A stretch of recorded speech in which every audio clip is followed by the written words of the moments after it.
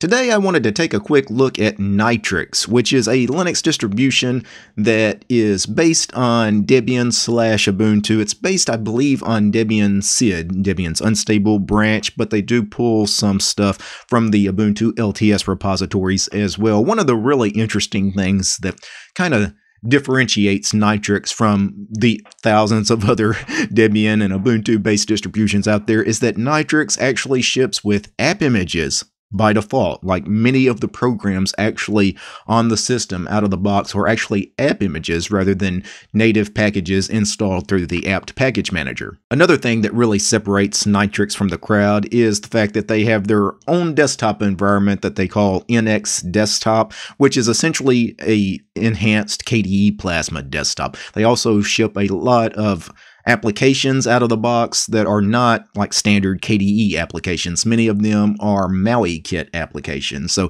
it's a, a really different kind of desktop Linux distribution. So what I'm going to do today is I'm going to go ahead and we're just going to fire up a live environment here. We're just going to boot directly off the ISO in a VM. So this is the very latest Nitrux. I believe they are on version 1.4 and this is running inside Virt Manager. Now because we're basically basically running this essentially kind of like a live USB. There may be some performance issues. Uh, let's hope not, though. But when you first log into Nitrux, the first thing you notice is the, the workflow, the paradigm seems to be quite Mac OS like. You've got the top panel, you've got the bottom centered dock. It kind of is reminiscent of the Mac OS 10 workflow. If I click on the start menu, if you will, if we're going to use maybe some window terminology. When you click on the start menu, all your applications are in this one pane. They're not really separated by category or anything. There's not a ton of stuff installed out of the box with Nitrux either.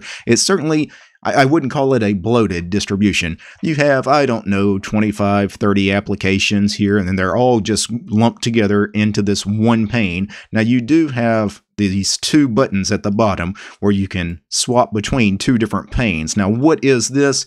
Well, this allows you to instead of having everything lumped into one pane here, you actually have a favorites pane here.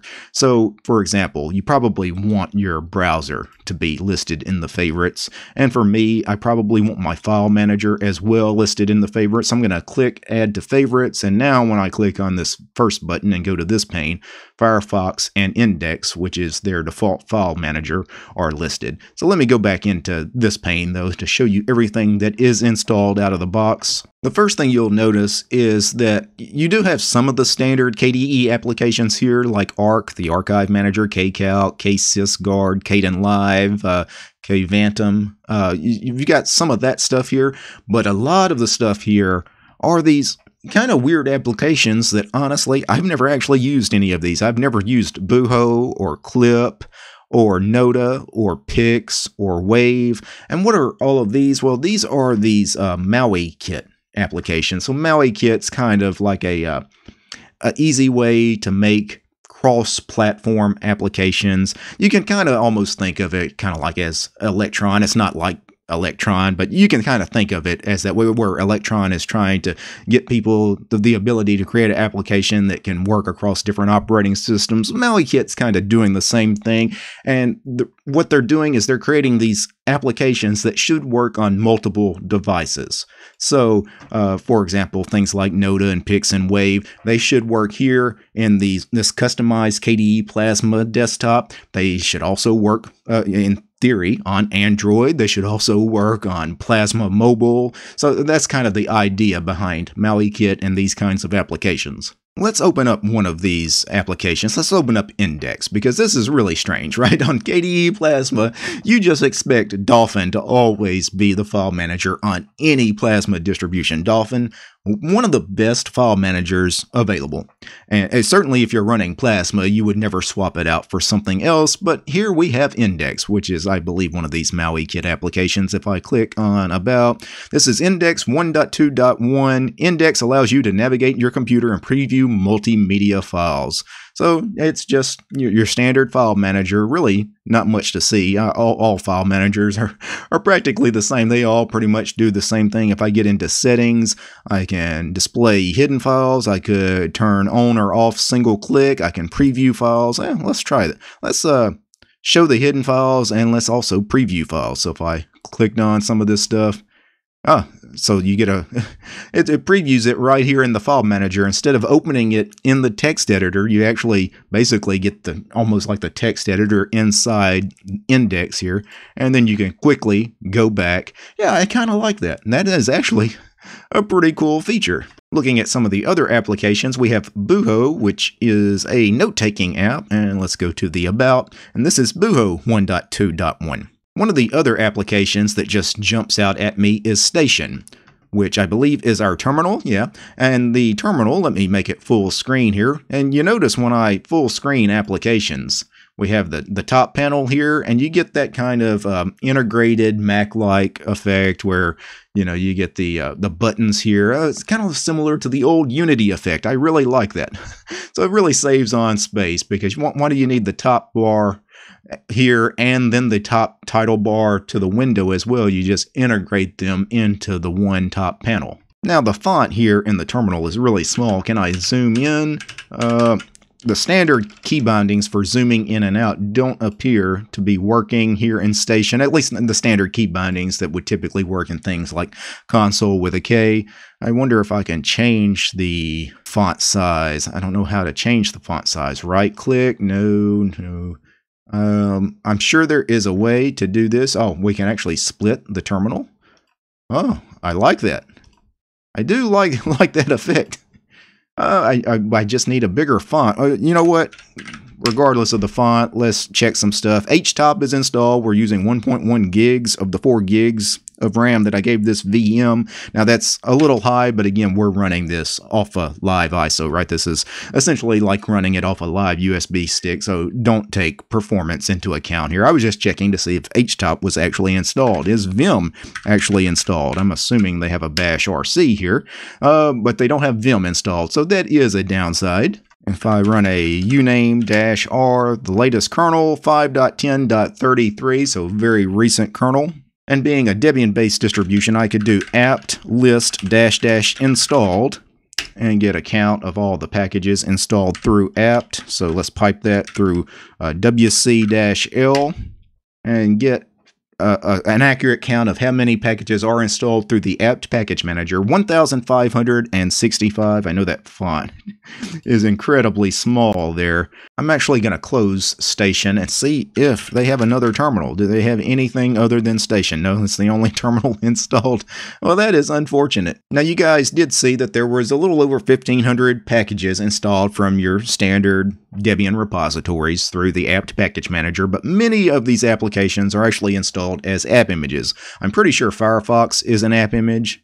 Uh, let's see what version of Firefox they are on. If I go to help and about Firefox, this is Firefox 88.0, so the latest Firefox as well.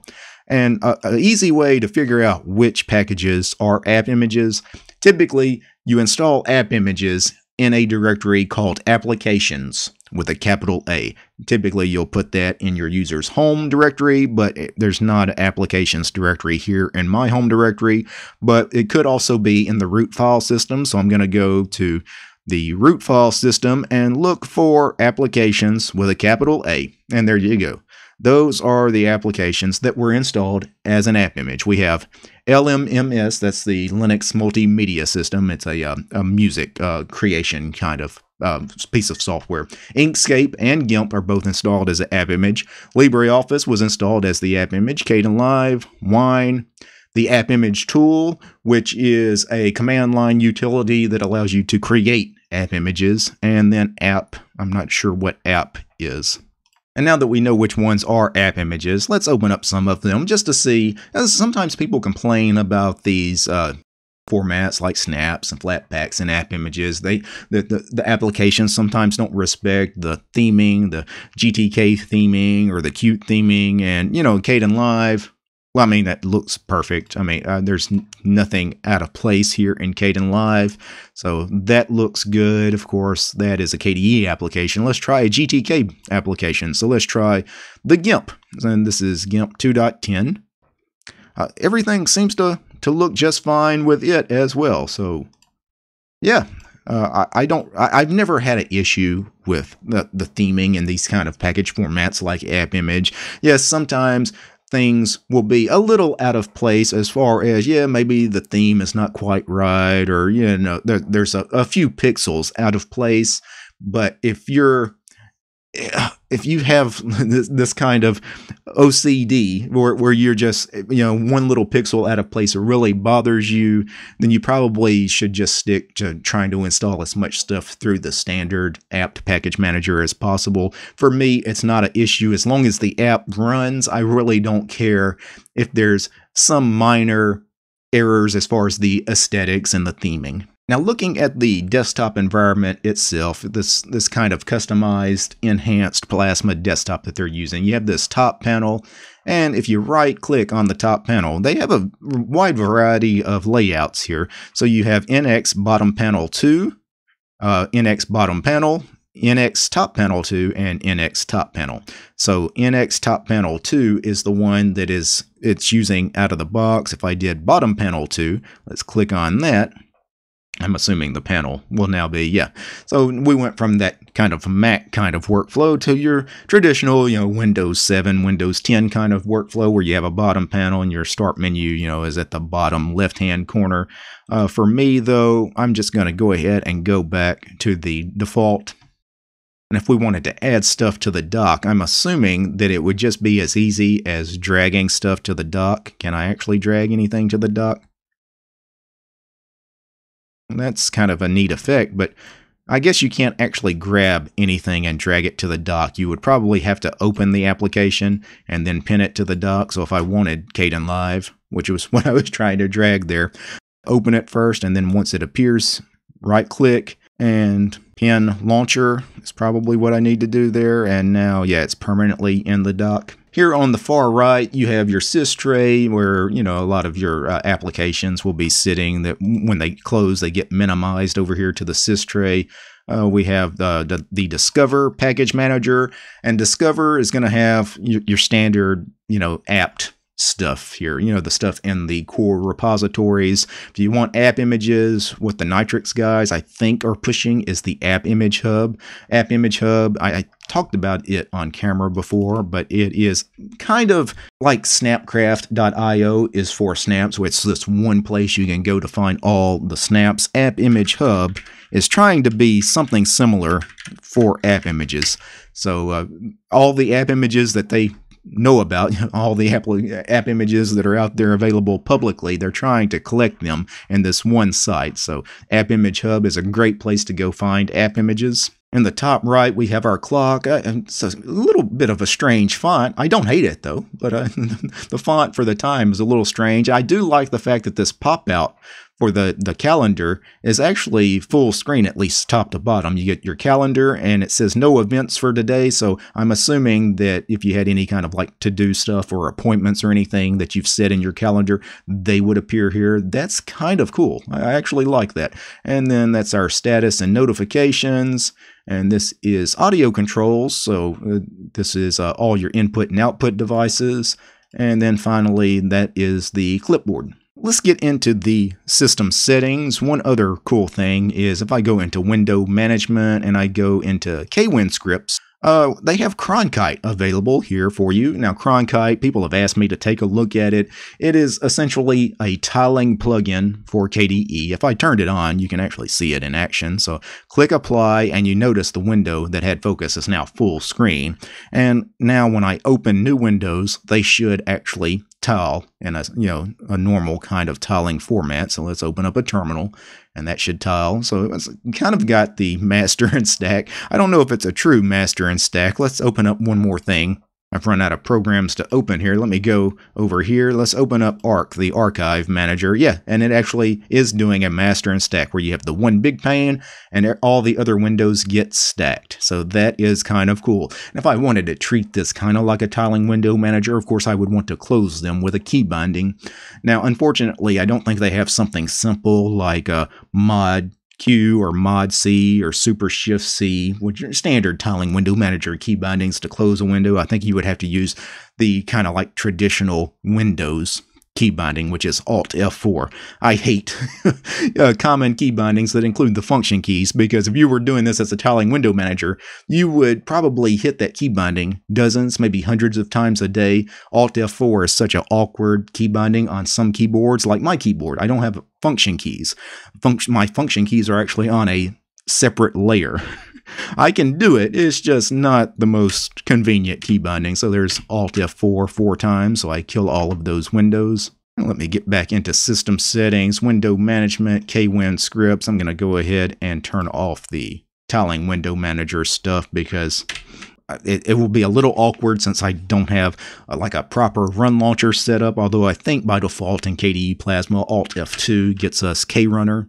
So, I mean, I, I could probably get by with Alt F2 launches KRunner and then knowing Alt F4 closes Windows. Once you know those two key bindings, you're probably good with Kröhnkite as a tiling tiling window manager, quasi tiling window manager. I'd probably try to change those key bindings to something more appropriate though.